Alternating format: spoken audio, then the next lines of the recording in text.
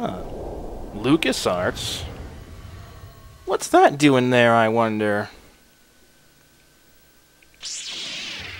Well, Obsidian, what games did they make for LucasArts? Hmm. What? Oh, I know what game that is.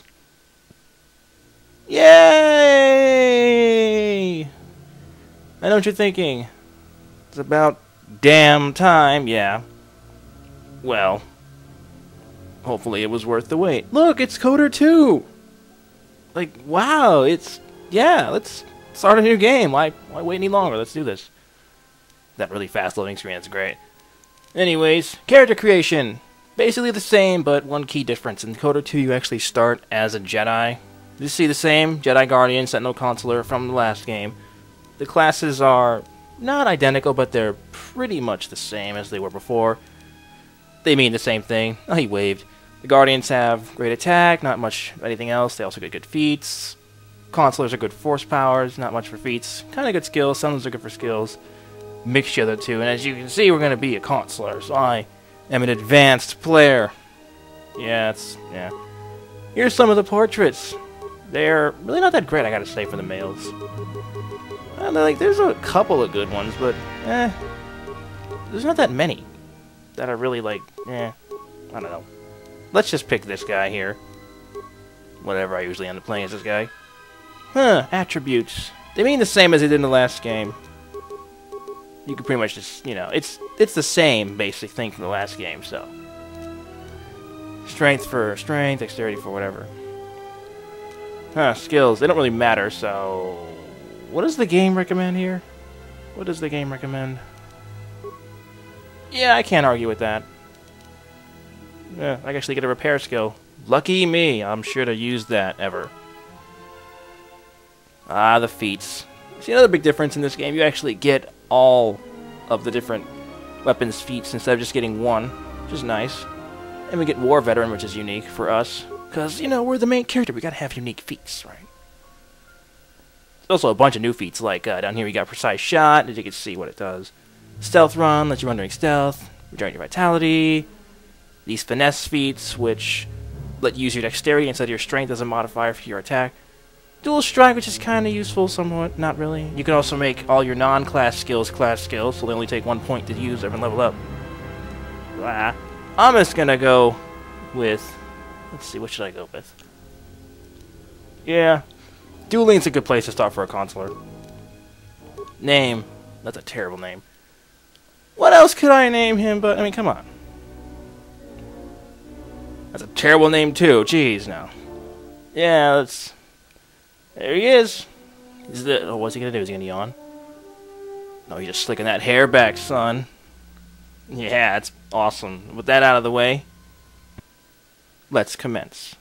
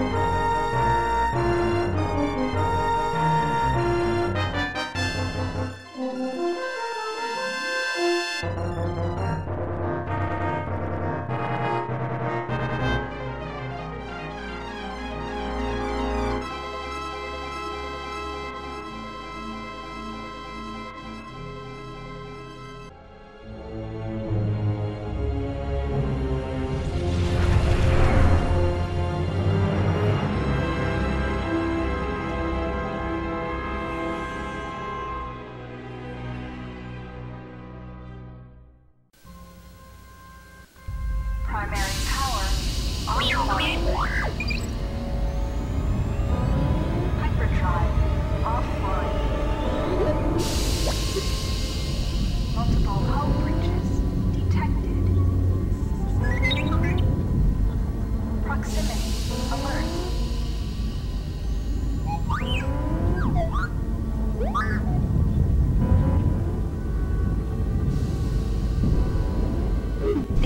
Hawk is adrift in space after a terrible battle. Most of its crew are dead or dying. You lie in the medical room in critical condition. You won't survive long without medical attention. I look dead. The hyperdrive is damaged. Main power must be restored in order to bring the engines online and dock with the nearby Peragus mining station for much needed repairs. Your fate and that of the Ebon Hawk depend upon T3M4, a lone astromech droid. Return to this location at any time to skip the prologue. Oh, T3, what did you do? Yeah, we could skip this whole prologue thing, but, you know, why, why, not play it? There's a little extra scene if you play it, so let's do this. Press W A S D. Yeah, PC, keyboard stuff, yeah. F4, and turn. Press Jeez, look at my ship. This is awful. First-person free look. Hmm, did I get the insurance against catastrophic ship destruction? I don't remember if that was in the package. Yeah, I'm making car jokes. Eh, whatever. Let's check out the galaxy map. It shows you are near Peragus, a mining colony. When the hyperdrive is fixed, you can use the galaxy map to choose a destination planet. Actually, you can use this galaxy map to choose this planet. You can't go anywhere else. Even when it's fixed. We can't go anywhere else anyways. Jeez, T3's messed up, the ship's messed up. Quests. To view your quests, Yeah, yeah, journal, stuff, missions. Yeah. I Have to heal me, even though I look really dead, like I was just staring off. I, I think we're beyond medpack here. And yeah, T3 lost all those levels from the last game. Shame, shame.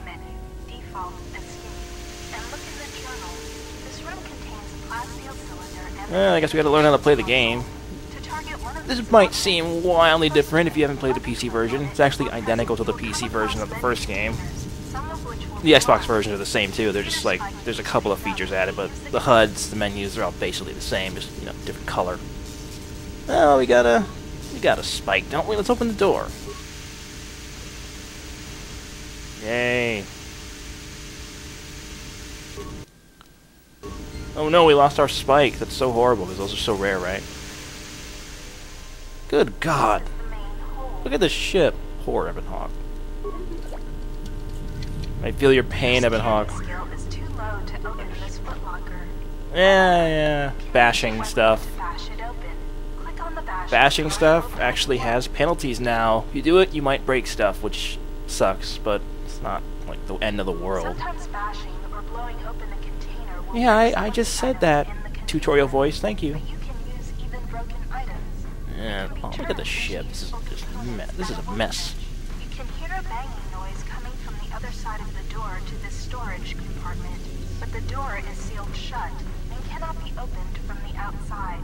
Uh, I've always found these PC games kind of awkward to play sometimes. Well, this one is. Oh, there's a body with a locker on it. appears to be dead. There is a key card on the body that looks like it opens a locker somewhere.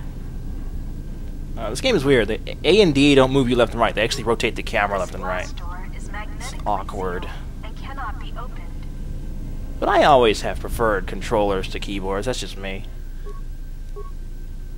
Oh, we should probably, you know, fix something. Access the map.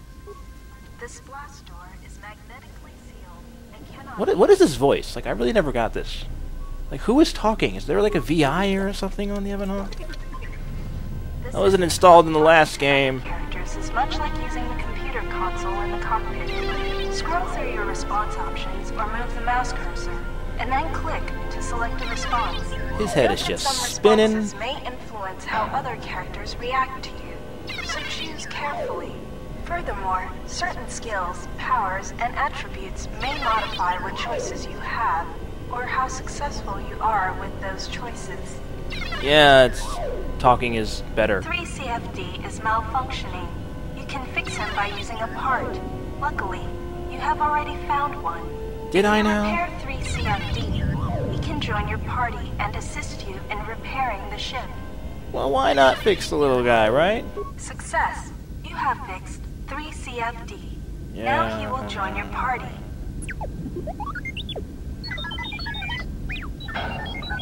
Why isn't it telling me what he's really saying? T3 understands this. Why isn't it translated? I call shenanigans KOTOR 2.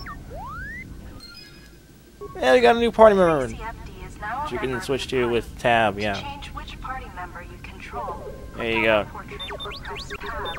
Later, when you have more companions, you can add and remove That's fun. from the party screen. No, it's not. Anyways, hey, there's a locker here. We found a locker key earlier. Guess what? It opens the locker. Well, what do you know? Hey, found some items. the key card you found to open the locker. Yeah, I just... armor from this locker key. Yeah, this voice is really helpful. Well, yeah, items, they work the same way. You hover over something and you see what you got in that equipment slot. The Xbox version is identical. And cool thing about this game is you actually have two weapon slots that you can switch between. Doesn't really mean much right now, but that'll be very useful for the whole game. But not right now, though. Not really. Yep. And you can use this little menu here to scroll through stuff. Picking your tunnelers and whatever. Also, you can press one, two, or three. clicking on the arrows above or below the security Yeah, this is- important. You know, if you haven't seen the PC versions of these games, this all probably looks really weird, so some explanation is nice, right? Oh my god, combat. Sensor droids emerged from this box when you opened it. Really? They did? Practice. God, wow. Oh, this container to attack the droids. wow. This is the most pointless tutorial voice. This should just be text. It really doesn't need to have a voiceover. I'm just saying. Anyways, combat, it's the same as it was in the first game. It really is. Except it looks different because it's a PC version. change your target. T3 has a shock arm, which is really awesome. It doesn't run out of charge. It's like one of those droid items, but it just doesn't need to ever be replaced because it's just infinite charge. It's awesome like that. Anyways, there's the garage. Here's the engine room, but we can't get in yet because we need to blow the door open. So we need to find some kind of bomb. but We don't really have one. To the outer hull of the Ebon Hawk, where you will find many parts and lines to use for accessing and repairing the hyperdrive. Hmm. Use the lift controls to go up. Now just tell me where to go. I don't. I don't know. It's so confusing. There's like two ways to go, and I don't know which one to take. I should be in here. There I am. Yeah, I'm dead. I'm not moving. I'm dead. This is no. Med packs can only do so much. Yeah. The med pack can stabilize your condition. Well, let's do it. Success. You are stabilized. To recover fully, you will require the medical facilities at the Peragus mining station. But you are not in any danger of dying from your wounds right now. They could have animated like a breathing. I am not moving. I am lying motionless, staring off into oblivion. I am dead. Look at that. Just no. They could have done some kind of like, hurt animation. Look at him. He's dead. He's dead. I don't care. This is the main hold. Yeah, I, I know. Anyways, we could do stuff down here, clicking and buttons. And solo mode is still here, but... Oh wait, no, I don't want to use solo mode yet. No, no, no, I don't want to use it yet. I forgot. Let's go on top of the ship first. We'll save solo mode for last. This is the utility lift. Thanks! You can use this lift to take you to the outside of the Ebon Hawk. Really? I thought it would take me outside of the Leviathan somehow.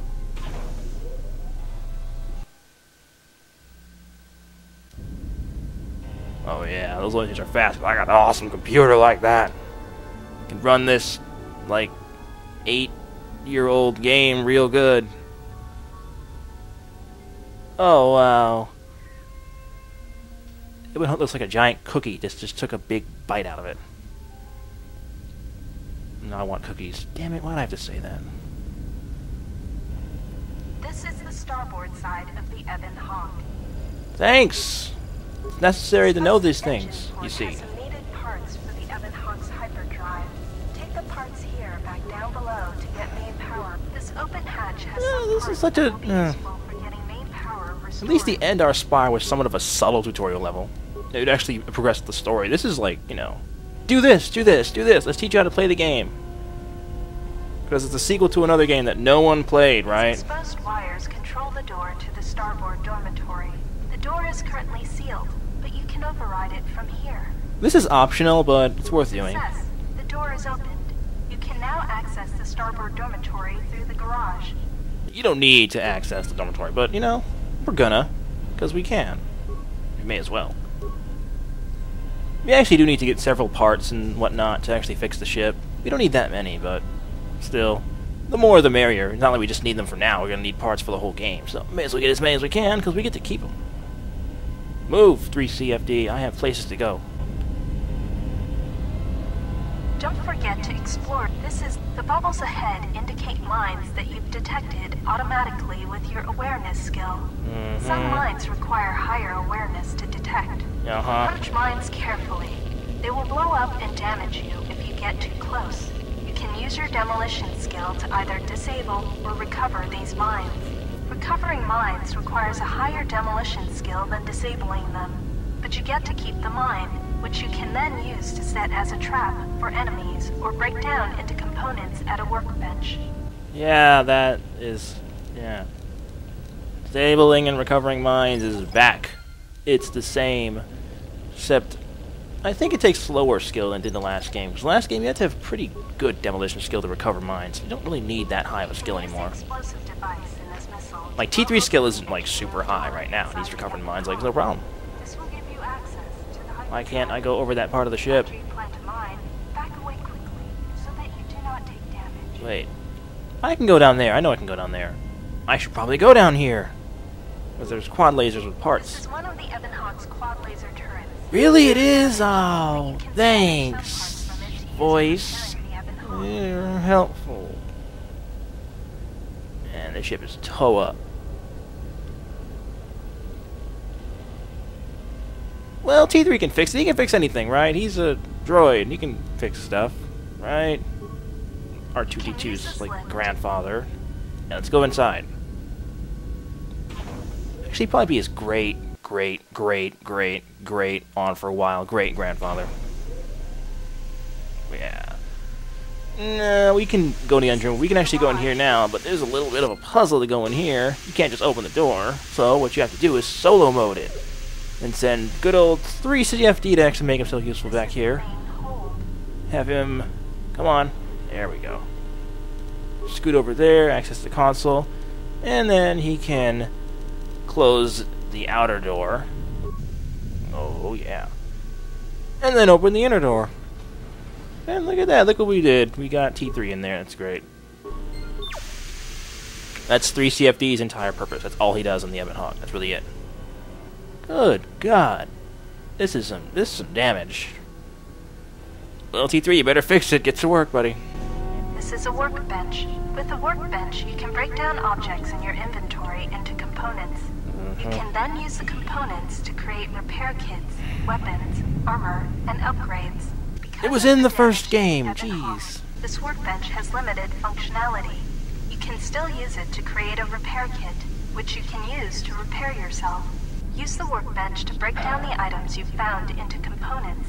Then use the components to create a repair kit. Yeah, the workbench. It's the same thing as it was, but it's just really expanded. As you can see, you can make a lot of stuff at the workbench. It shows you your skills. You need to have certain skill heights to make certain items. Any character can use workbenches, not in the Ebon Hawk, but outside of it then. You can have any other character use it. And you have your components here that you can create items with. And, you know, you have a lot of other stuff, but we can't make any of it because the workbench here is all messed up, so. And you can also break down your stuff. You really just don't need to break down much, but you want to break down your broken items. And you see, you can see how much stuff costs. Broken items are useless. They're only used for this, so break them down whenever you need to. Sweet, I can heal myself, even though it's really not necessary, but why not? Healing is just clicking and then clicking. Yay!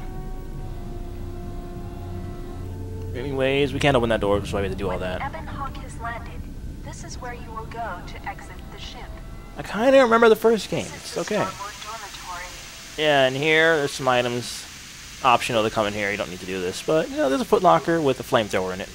Oh, I spoiled it. Ooh. Found a droid flamethrower. This is one of the special weapons the droids can use. Yeah, I didn't really use these all that much in the last game. Then I didn't use droids much in the last game. But don't worry, we'll see a lot more T3 this time. I am totally not crossing my fingers when I say that. And then you gotta get them out the same way.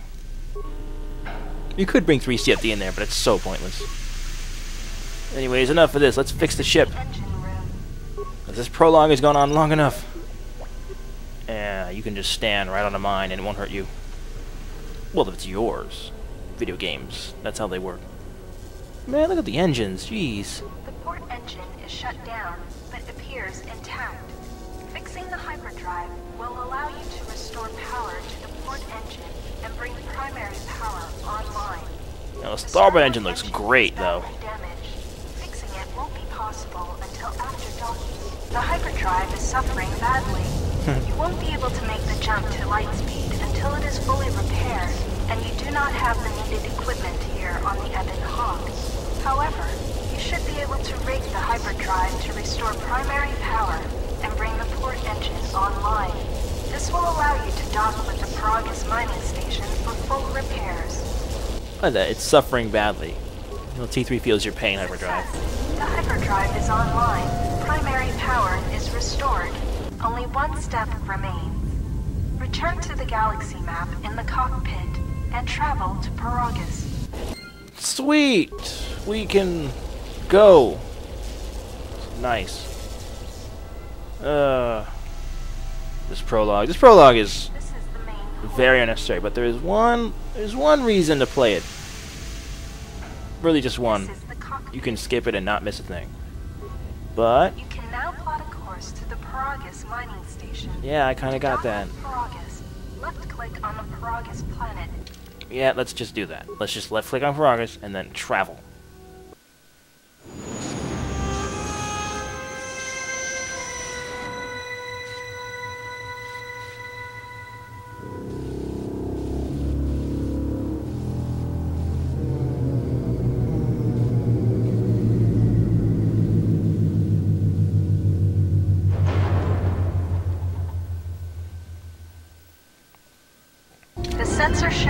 Door to the storage compartment is being sliced. There is someone, or something, else alive on the Ebon Hawk.